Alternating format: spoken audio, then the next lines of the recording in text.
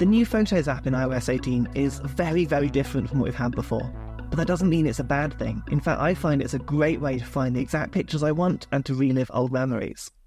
One way I do this is by using the new filter button in the left hand corner.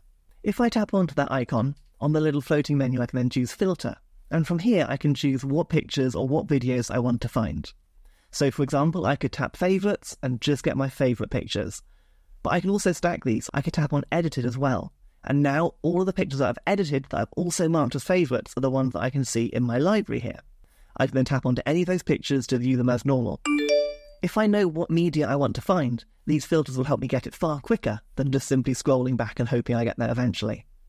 I can then toggle that again, so I've got my favourites selected, but rather than edited, this time I want to find all my videos that I favourited.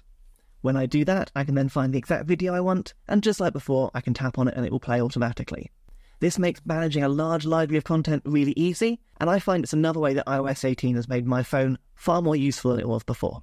And if you want to see what else is new on iOS 18, and the spoiler alert, there's loads of new stuff, there are lots of videos on my YouTube channel down below, lots more quick tips for iPhone, or you can check out my new ebook where I've written 100 quick tips for iOS 18.